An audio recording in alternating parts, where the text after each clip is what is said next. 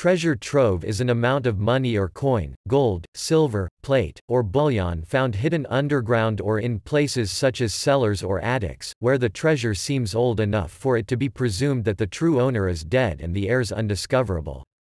The legal definition of what constitutes treasure trove and its treatment under law vary considerably from country to country, and from era to era. The term is also often used metaphorically. Collections of articles published as a book are often titled treasure trove, as in A Treasure Trove of Science. This was especially fashionable for titles of children's books in the early and mid-20th century.